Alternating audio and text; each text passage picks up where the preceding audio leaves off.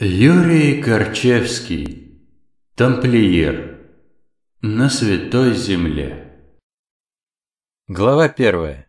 Монастырь. Отправиться на каникулы на Ладожское озеро – это была идея Валерия, однокурсника по Альма-Матер. Соблазнил рыбалкой местами красивыми, глухими, почти девственными. Сомневался Александр. Каждый кулик свое болото хвалит. Поговорка верная на все времена. А куда на лето податься? В Питере этих каменных джунглях надоело. В Турцию или на Кипр для студента дорого. Он и так два курса подрабатывал, чтобы одеться хотя бы. Сам питерский, хоть на квартиру не тратится и на еду. С бабушкой жил. Да какие у них доходы? Ее пенсия и его стипендия. Однокурсники на собственных машинах к университету подкатывали. На запястье умные часы. А зависти не было. Не их это вещи, не своим трудом заработаны. Богатенькие родители подарили. Девчонки с курса и глазки им строили, пытаясь влиться в компанию, и списывать давали, а только не в коня корм. Александр на факультете иностранных языков учился. Там произношение нужно, словарный запас. У него с этим лучше всех. Бабушка его из семьи старой питерской интеллигенции, уже в пятом колене. Сама французский знает, читает и говорит свободно. И дочь выучила, и его, внука Сашу. Языки Александра давались легко. На факультете начал учить второй язык, испанский. Понял, что зная один язык, второй учить легче. На первом курсе брался за малую подработку. Телефонами и прочими гаджетами в магазине торговал. Нелегальным гидом был для туристов из Франции. На втором курсе подработку получше нашел. Переводил тексты для фирм. Питере знающих финский язык много, все же соседи. На выходные питерцы шоп-туры в Финляндию делали. Владеющих немецким и английским поменьше, но хватает. А французский или итальянский знают не так много. Александр считал везение. Да и временем распоряжается сам. Есть часок-другой, кусок текста перевел. Одно плохо. Тексты больше технические, сложные. Поехать из города на неделю-две бабушка посоветовала. Сказал он ей о предложении однокурсника, а та сразу «Езжай».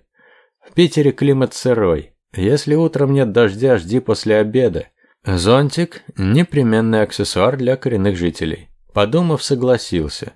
На Ладоге, да в глухом краю, в деревне впрямь хорошо. Дед с бабкой, внучка Валеру с приятелем встретили как дорогих гостей.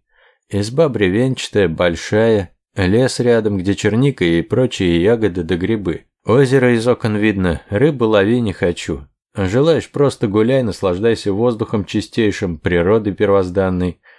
В городе суета, многолюдие, а в деревне жизнь размеренная, спокойная, продукты натуральные, молоко, хлеб, варенье, яйца, рыба. Только и покупают, что сахар да крупы. Зелень с огорода, молоко и сметану у соседей берут задешево. Вот по вечерам скучно, деревня малолюдная и непривычна. Телевизор старый, показывает плохо, Интернета нет, да исторические времена.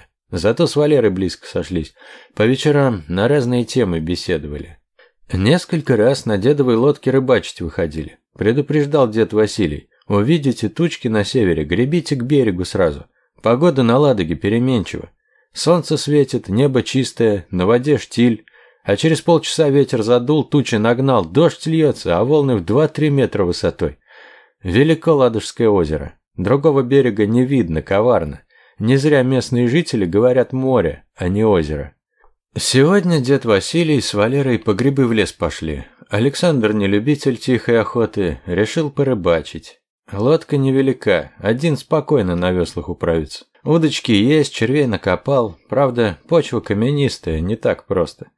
Погода прекрасная, солнце светит, небо голубое, без облаков. А вот вода прохладная, желание купаться начисто отшибает. Выгреб на сотню метров от берега, удочки закинул, поклевка сразу пошла, только и успевал таскать одну рыбину за другой. Лещ, окунь, потом еще крупная рыбина, название которой определить не смог. Увлекся, по сторонам не смотрел. Только когда лодку с борта на борт качать стало, осмотрелся. Тучи над головой низко, волны поднялись. А хуже всего, лодку от берега отнесло с полкилометра будет. Удочки быстро смотал, за весла уселся. Полкилометра – это недалеко. Парень он физически сильный, греб мощно. Обернулся посмотреть, далеко ли до берега, а земля не приближалась. И ёкнуло в груди. Четверть часа работал веслами, вспотел, а толку чуть. Снова грести принялся. Лодка все сильнее качает, волны выше и выше. Хуже всего качка бортовая. Того и гляди, вода через борт перехлестнет. Немного воды на дне лодки плещется, где пойманная рыба лежит. Голову повернул, а берег все так же далеко. Тут уже легкий испуг пришел. Ветер крепчает, первые капли дождя упали, волны все выше и выше. Ветром лодку от берега отжимает. Александр на весло налег. На берегу показались дед Василий и Валера. Кричат что-то, руками размахивают. Но расстояние велико, ветер шумит, не слышно ничего. Начал лодку разворачивать кормой к волнам. В это время большая волна набежала, лодку захлестнула. В лодке и так вода была, а сейчас едва не половина сделалась. Лодка потяжелела. Следующая волна довершила катастрофу. Посудина набрала еще воды, корма сразу осела. Александру даже выпрыгивать не пришлось, оказался в бушующей стихии. Сланцы, что на ногах были, сразу слетели. Да это и хорошо, плыть подручнее. Одежонка летняя, легкая, двигаться в воде не мешает. Саженками к берегу поплыл. Нехорошо получилось, дедову лодку утопил. То и дело его накрывало волной с головой. Выныривал, отплевывался.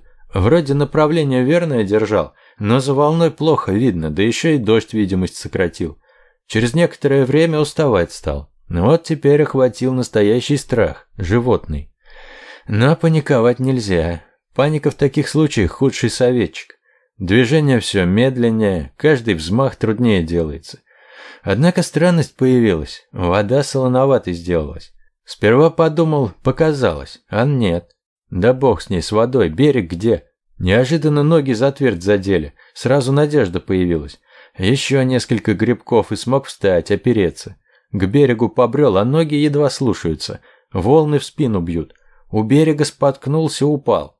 Половина тела на берегу, а ноги в воде. Сил выползти нет, но главное спасся. А в душе вместо радости усталость, апатия. Ничего, отлежится немного, встанет. Да и дед Василий с Валерой наверняка вдоль берега бегают, его разыскивая. Послышался удар колокола. Хм, занятно. В деревне ни церкви, ни колокола нет. Или его далеко в сторону снесло. Из пелены дождя появился большой лохматый пес. Подбежал, обнюхал, гавкнул и умчался. Надо вставать, хотя сил нет. Раз есть собака и колокол звонил, стал быть люди рядом, деревня или село. Александр встал на четвереньки, пополз. Пока лежал, ноги в воде были, замерзли. Ниже колен он их чувствовал плохо. Попробовал встать, ноги слушались плохо, но поднялся. Снова собака появилась, за ней мужчина в черной рясе, прилипший от дождя к телу, а поясан простой веревкой, на голове капюшон. Священников Александр видел. В церкви бывал больше из интереса. Как можно жить в Питере и не посетить Исаакиевский собор или Казанский, либо Спас на крови, но священники капюшонов не имели, да и веревкой не опоясывались. Не монах ли? На русских северах монастыри, скиты встречаются, хотя широко известен только Соловецкий. Монах подхватил Александра под руку, повел. Из-за пелены дождя показались мощные каменные стены с коваными воротами. Под ними надпись «Аббатство святого Бенедикта», причем латиницей. Александр замер. Какое аббатство? Нет их в России, это у католиков. Монах завел его в небольшую комнату. «Садись, сын мой, поближе к очагу, обогрейся, обсушись».